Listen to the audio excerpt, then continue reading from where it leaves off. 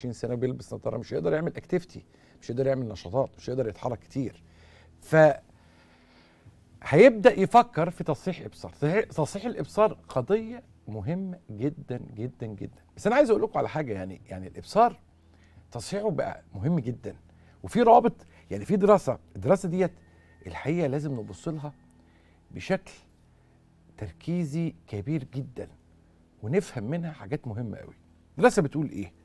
بتقول إن ضعف الإبصار في سن معين متقدم يؤدي إلى تراجع معرفي وربطت الدراسة بين إن ضعف الرؤية بيقلل قدرة الناس على المشاركة.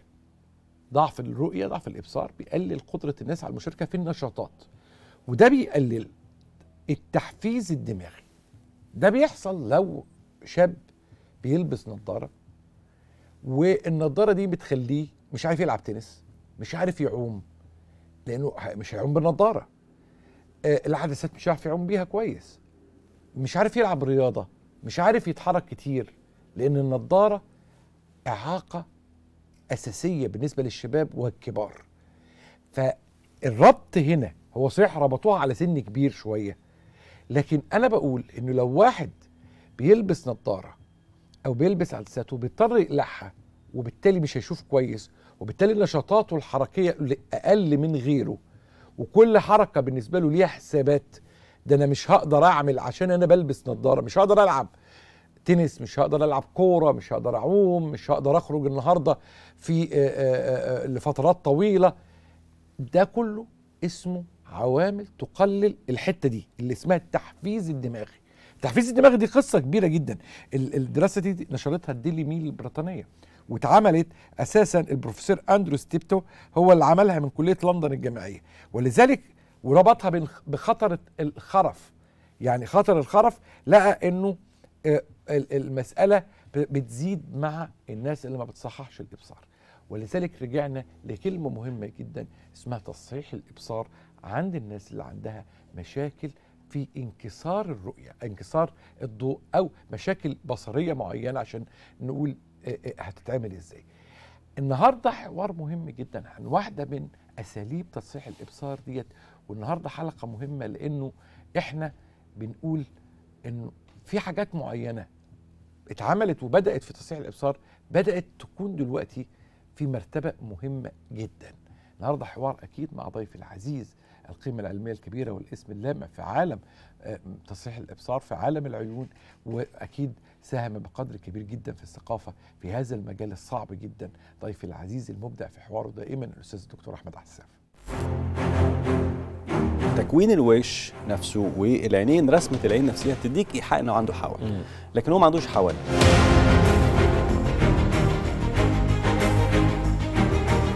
هل الليزر السطحي option ولا في حالات يناسبها الليزر السطحي وحالات تانية يناسبها الليزك في حالات يناسبها الليزر السطحي والليزك وفي حالات يناسبها الليزر السطحي وما يناسبهاش الليزك. الناس لسه ما عندهاش ثقافة التفرقة بين الليزك وبين الليزر السطحي. أنا عملت ليزك النهارده جالي مية بيضاء بعد 20 سنة مش عشان أنا عملت ليزك عشان أنا مكتوب لي هيجي لي مية بيضاء في نوع تاني من ضعف النظر بقى اللي هو نتيجة الليزك نفسه. هنا لازم نتدخل. الدكتور أحمد عساف أستاذ طب وجراحة العيون جامعة عين شمس زميل كلية الجراحين الملكية البريطانية عضو الجمعية الأمريكية لطب وجراحة العيون عضو الجمعية الأمريكية لجراحات المياه البيضاء عضو الجمعية الأمريكية لإصلاح عيوب الانكسار. 25 بحثا منشورا دوليا. أكثر من 100 بحث تم عرضه في المؤتمر السنوي للجمعية الأوروبية.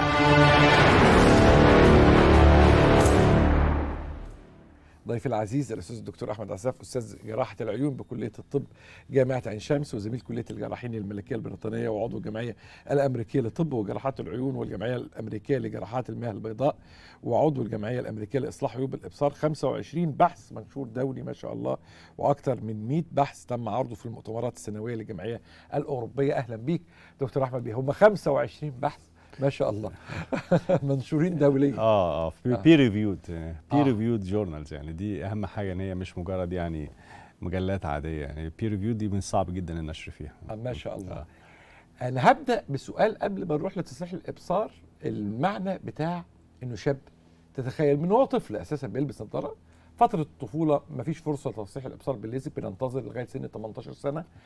آه عند 20 سنه المساله مستمره طول عمره بيلبس نظاره ما لعبش رياضات كتيره ما عملش حياه ما, ما في حاجات كتيره فاتته كبر بقى 30 سنه 40 سنه وبرضه النضاره هي المسيطره على حياته أو العدسات لاصقه في بعض المناسبات أكيد فكره الادراك المعرفي اللي هو آه، آه، يعني آه، ستيفن آه، آه، آه، آه، آه، أو في الديلي ميل لما ذكرت أنا بس عايز آه، اراجع مين اللي عملها آه، أكيد بتتأثر.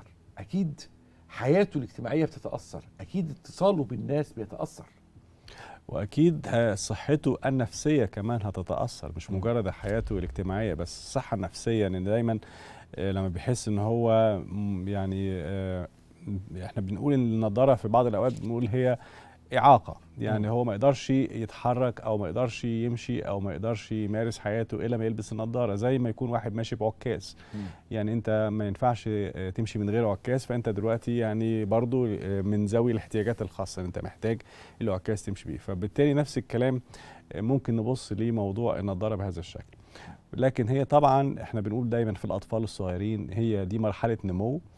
والعين بتنمو وطالما العين بتنمو فمقاسات الإبصار أو مقاسات النضارة بتختلف كل شوية فبالتالي ما ينفعش إن إحنا نعمل عملية إصلاح إبصار للأطفال الصغيرين. فأنا التزم بالنضارة الطبية لغاية لما النظر يستقر وده جرى العادة. في البنات بي- بيستقر بدري شوية عن سن 18 سنة في الولاد بيتأخر شوية صغيرين عن سن 20 أو 21 سنة. وبالمناسبة الأرقام دي مش أرقام ثابتة. يعني ممكن في بعض البنات ممكن النظر يستقر بعد 18 وفي بعض الوقت يستقر قبل سن ال 20 يعني أهم حاجة إن إحنا نتأكد إن مقاس النضاره ما بقاش يتغير. في زيارتين متتاليتين يكون الفرق بينهم حوالي سنة تقريبا. علشان نضمن إن النظر استقر وهنا بنعمل عمليات إصلاح الإبصار. لكن في الفترة ما قبل هذا طبعا النضاره الحل الوحيد قدامنا لكن ما لها وما عليها يعني ليها عيوب وليها مميزات. هي طبعا مميزاتها ان هي أسهل حل إن نخلي الطفل أو الشاب الصغير إن هو يشوف كويس لكن ليها طبعا امباكت أو ليها آه، أثر من ناحية الإدراك المعرفي من ناحية الأثر الاجتماعي من ناحية كمان الحالة النفسية بتاعة الشخص نفسه. أندرو ستيبتر آه، هو آه، قال إنه خطر الإصابة بالخرف يعني بتأخر الوظائف المخية مرتبط بضعف الإبصار هي دي دي دي جديدة بصراحة آه، أنا ما يعني. سمعتهاش قبل كده بس فعلا واضح إن هو ممكن يكون في علاقة ما بين طبعا حاجة على مدى البعيد يعني ما بين الخرف اللي هو على المدى البعيد مع الشيخوخة في السن وتأخر الإدراك المعرفي في الطفولة أو في فترة الشباب المبكرة. الليزر السطحي إيه هو الليزر؟ السطحي؟ الليزر السطحي هو عامة هو اللي آه، أول عمليات ليزر آه، ظهرت لإصلاح الإبصار كان هو الليزر السطحي. وبعدين بعد كده هو تطور الموضوع إلى كلمة ليزك. والفرق ما بين الاثنين إن الليزر السطحي إن الليزر بينزل على سطح القرنية. الليزك بنعمل قطع في القرنية. طب ليه؟ ليه الليزر السطحي آه، اختفى شوية وظهر مكانه الليزك؟ وبعدين دلوقتي بقينا نرجع للليزر السطحي تاني. بس بأجيال متطورة شوية صغيرين. الفكرة ببساطة شديدة فكرة الليزر إن الليزر بيشتغل على القرنية. إيه هي القرنية؟ هو السطح الخارجي من العين. السطح الشفاف من العين هو القرنية. القرنية دي لو إحنا شفناها تشريحيا بتتكون من طبقات كتيرة جدا. الطبقات السطحية اللي هي لو إحنا شفناها باللون الأزرق هنا أهوت دي الطبقة اللي فيها شبكة الأعصاب اللي. بتحس بالألم. آه، ودي دي مهمة جدا بحيث إن هو لو أنت ماشي في الشارع وفي رملة أو في حصواية أو في رمش دخل في العين هتحس بألم وألم حاد وشديد عشان تعرف إن في مشكلة علشان تحاول تعالج الموضوع ده قبل ما يعمل خدش في سطح القرنية عشان القرنية دي لو حصل فيها خدش ده بيبقى دافع للبكتيريا إن يعمل مشاكل في السطح القرنية ويأثر طبعا على النظر ويسيب سحابات وكلام كده. فالطبقة الخارجية دي هي دي اللي فيها الأعصاب. زمان كان بيعمل إيه؟ كل الفكرة ببساطة شديدة إن هو بيشكل القرنية. بدل ما القرنية تبقى كده أهوت يفلطحها شوية صغيرين عشان يعالج قصر النظر. ولو مم. القرنية كده وعايز يعالج طول النظر يخليها مقوسة أكتر. ففكرة الليزر ان هو بيصنفر القرنية. يا إما يخليها مقوسة أكتر يا إما يكون مقوسة أقل عشان يعالج. يا إما هنا هو عايز يعالج طول نظري يخليها مقوسة أكتر عايز يعالج قصر نظري يخليها مقوسة أقل. طيب الليزر لما كان بينزل على سطح القرنية بينزل على إيه؟ بينزل على الطبقة الحساسة اللي بتحس بالألم. فبالتالي المريض بعد العملية كان بيحس بألم شديد حرقان وشكشكة في العين فظيع ودموع كتيرة جدا بتنزل من عينيه بتستمر لغاية أربع أو خمس أيام عشان إحنا اشتغلنا على المنطقة الحساسة بتاعة القرنية. لغاية لما يحصل التئام ويبتدي بعد كده النظر يستعيد قدرته المريض يستعيد قدرته على الإبصار في خلال أسبوع أو أسبوعين بعد العملية. فترة النقاهة الطويلة دي ما كانتش مناسبة إن هي تتعمل عمليات الليزر أو تاخد شعبية آه، آه، على جموع الناس. لأن هو أنت هت- هتحتاج تاخد أجازة من شغلك حوالي أسبوعين هتستحمل شوية ألم وحرقان وشكشكة شداد أربع خمس أيام بعد لما الليزر يشتغل على سطح القرنية. فعشان كده سميناه الليزر السطحي. ظهر الليزك الليزك إيه؟ قال خلاص إحنا هنشيل الطبقة اللي هي الحساسة دي هنعمل قطع في القرنية ونشيل الطبقة الحساسة اللي هي فيها الألم اللي بتحس بالوجع هنبعدها عن مسار الليزر. هنعملها كده أهوت ونخلي الليزر ينزل يشكل لنا القرنية على مستوى طبقات القرنية الداخلية ونرجع الطبقة الحساسة دي تاني كأنها ما اتلمستش. فبالتالي المريض ما بيحسش بألم بعد العملية. فترة النقاهة بتكون سريعة جدا في خلال يوم أو يومين يقدر المريض يستعيد نشاطه الطبيعي تاني ويرجع شغله.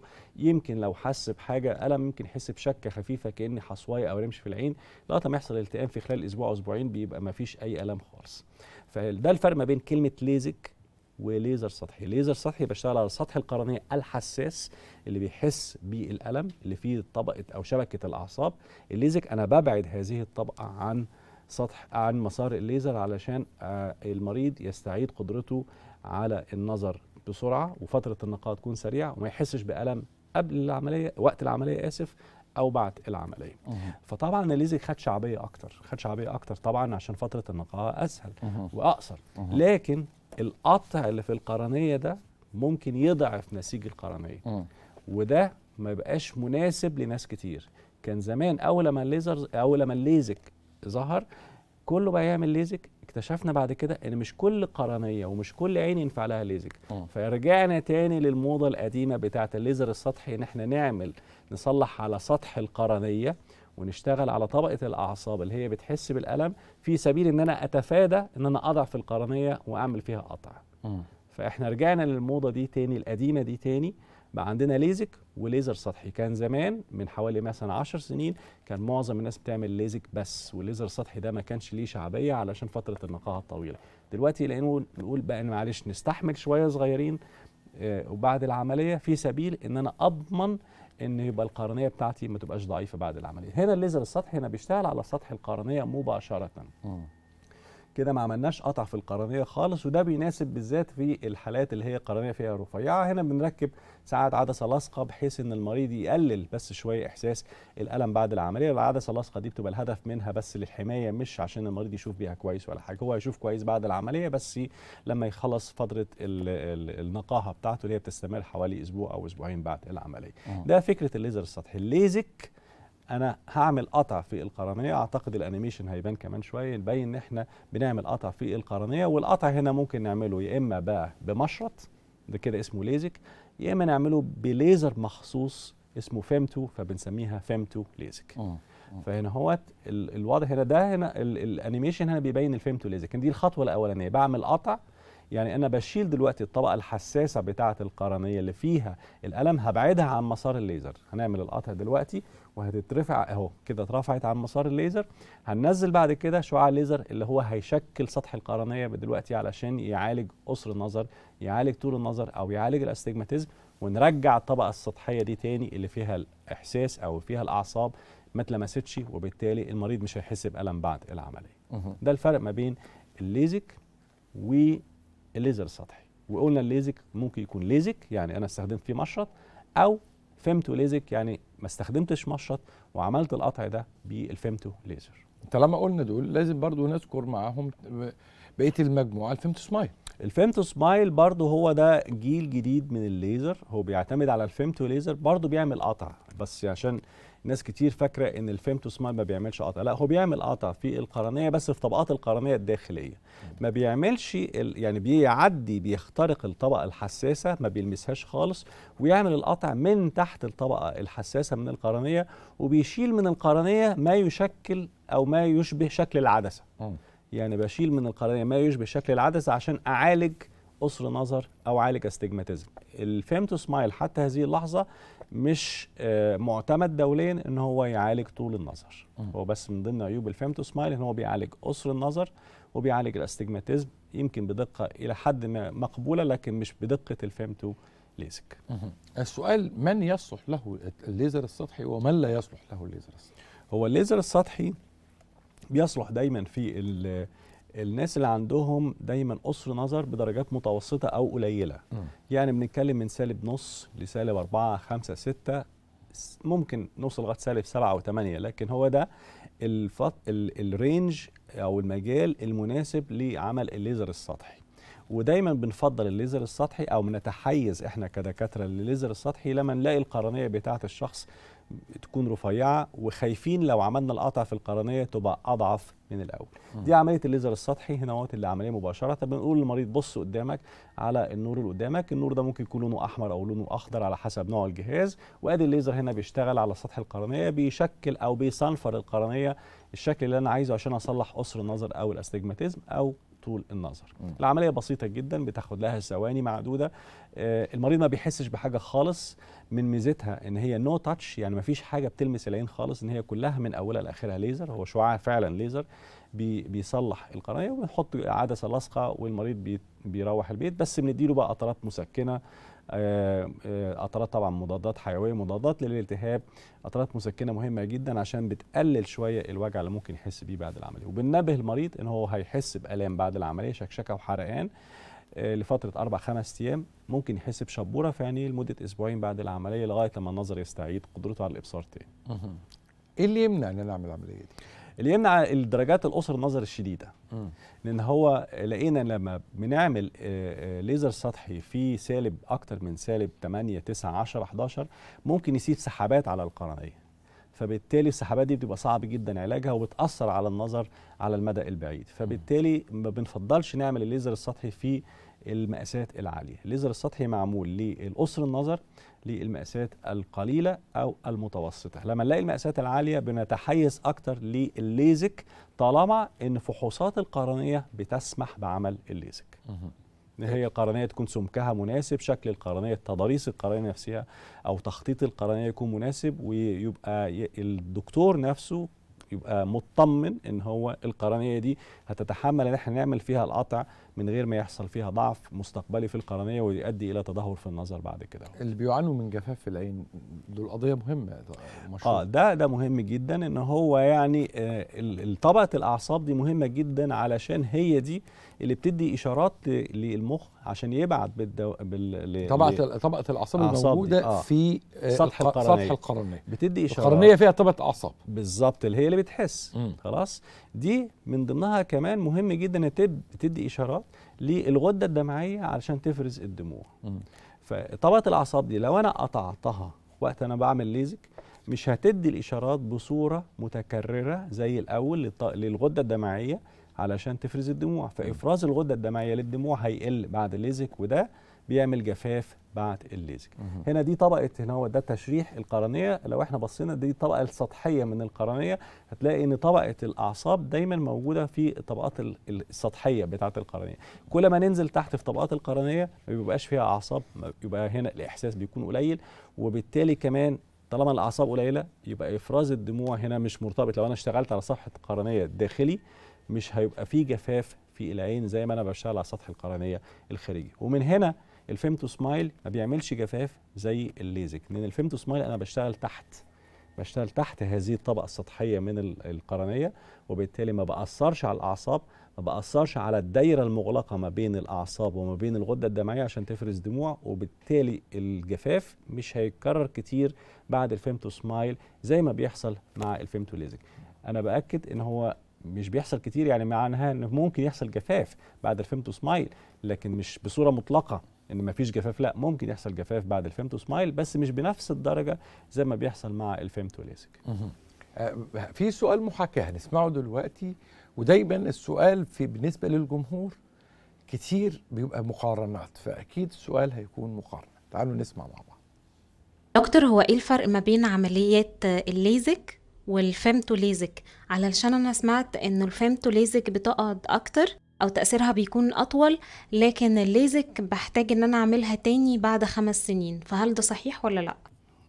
ده سؤالين في سؤال واحد. آه هما سؤالين في الفرق ما بين ال- ال LASIK وال femto LASIK إحنا بنعيده تاني إن هو إن في كلمة ليزك بعمل قطع في القرنية. لازم بقى السادة المشاهدين فاهمة إن ليزك يعني هعمل قطع في القرنية. هعمل بقى القطع إزاي؟ هعمله بمشرط ده اسمه ليزك. هعمله بمشرط عبارة عن ليزر اسمه femto laser فاسمها femto LASIK.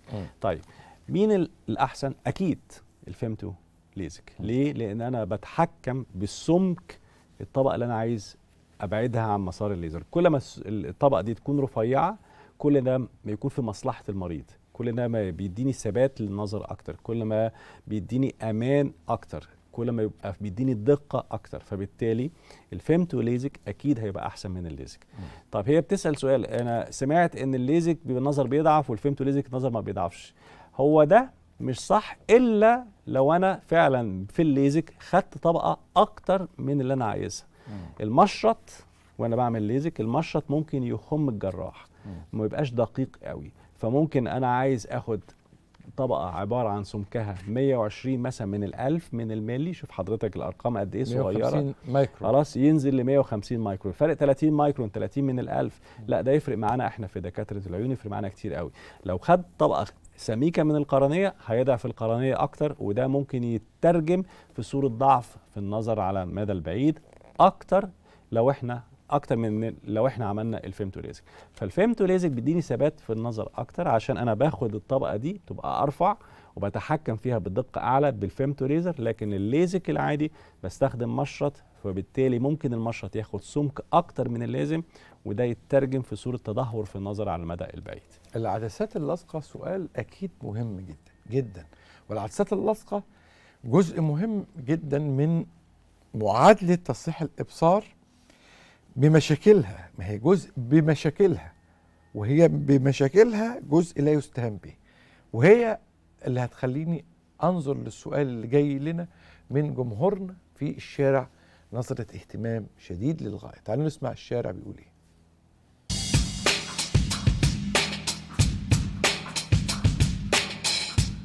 هو ليه دايما لما يجي نحط العدسه في عيننا بنلاقي في وجع على طول؟ أنا عايز أعرف إيه بس الضرر بتاعها وإيه الفايدة بتاعتها؟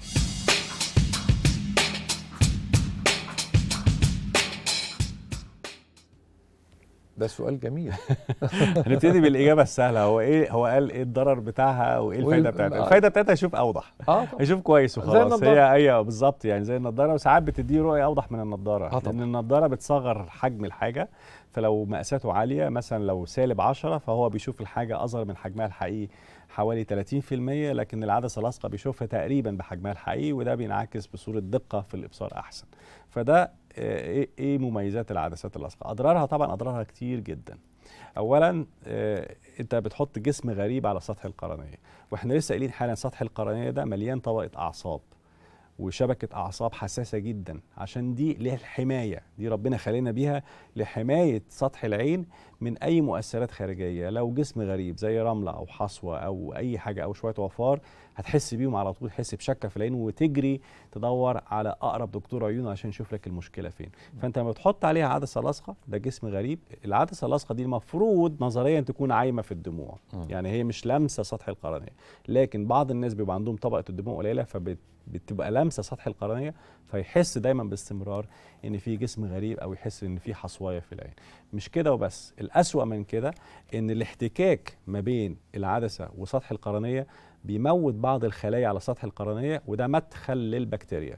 مدخل للبكتيريا وهنا بقى مربط الفرس. لو حصل البكتيريا دخلت هتعمل قرحة قرحة بكتيرية ممكن نعرف نعالجها ممكن ما نعرفش نعالجها تسيب سحابة على القرنية ما تسيبش سحابة على القرنية. دي بقى يعني كل واحد وحظه. هروح بقى لكل واحد وعاوزه العدسات اللاصقه قنبلة موقوتة يا جماعة. مش ده التعبير الصح؟ بالظبط. قنبلة. موقوتة مخيفة. هروح لنقطة تانية أخيرة بقى مهمه بعد ال PRK عملنا ال PRK إيه التعليمات ال- ال- ال- العيان هي دايما في الفيلم تقولوا ما يفركش يعني آه، ما ينامش على مخدات لو عندها طفل.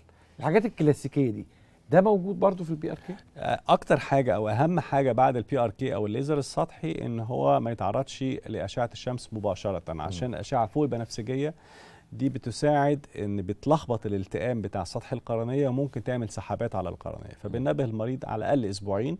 لو هيخرج الشارع ما بنقولوش ما تخرجش لا أخرج ما عنديش مشكلة خالص بس البس نظارة شمس. الحاجة الثانية بننبهه إن هو دايما الإحساس الألم هيبقى مرتبط بالتعرض للإضاءة حتى لو إضاءة داخل الحجرة.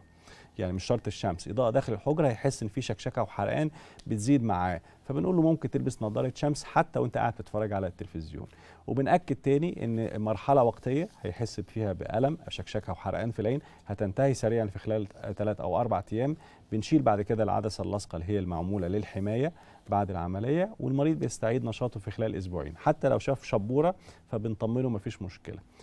الميزة هنا في الليزر السطحي إن هو ممكن بعد كده لو حصل المريض دعك ايديه في عينيه أو حتى اتخبط في عينيه فمش هيحصل مشاكل زي ما كان إحنا بنشوفها مع الليزك. لأن الليزك لما بنعمل قطع في القرنية الطبقة دي اللي إحنا عملنا قطع ورجعناها تاني مكانها ولحمت مكانها برضه بتبقى ضعيفة. فعرضة لو اتخبط في عينيه بكورة بمضرب بأي حاجة وقت رياضة أو ما شابه ممكن الطبقة دي تتحرك من مكانها ويحتاج يخش أوضة العملية التاني علشان نرجعها تاني. لكن في الليزر السطحي أنا ما عملتش الخطوة دي ما عملش قطع القرنية. فبالتالي طبقات القرنية كلها متماسكة مع بعضيها. فلو حصل إن في اتخبط في عينيه أو حصل أي يعني آه، طبعا لا قدر أي حاجة يعني آه، لمست عينيه مش هت مش هت مش هتتحرك طبقات القرنية دي من مكانها.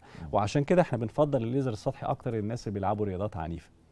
يعني واحد بيلعب بوكس ملاكمه آه، بعض الناس بيلعبوا رياضات آه، حتى كرة قدم نفترض إن ممكن يبقى كوره تخبط في عينيه فبالتالي إحنا ما بنحبش نعمل ليزك في الناس اللي بيلعبوا رياضات عنيفة بنحب نعمل لهم الليزر السطحي. ضيفي العزيز القيمة العلمية الكبيرة الأستاذ الدكتور أحمد عساف أستاذ طب وجراحات العيون بكلية طب جامعة عين شمس وزميل كلية الجراحين الملكية البريطانية وكلية آه، الجمعية الأمريكية لطب وجراحات العيون والجمعية الأمريكية لجراحات المياه البيضاء وصاحب ال 25 بحث المنشور دوليا والأكثر من 100 بحث تم عرضه على المؤتمر السنوي للجمعيه الأوروبية. نورتني وشرفتني.